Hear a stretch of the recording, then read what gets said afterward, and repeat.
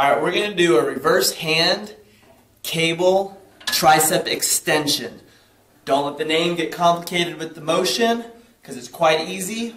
You're going to grab the cable underhand, pull the elbow down to your side, and just extend down, flexing at the bottom. It's that easy.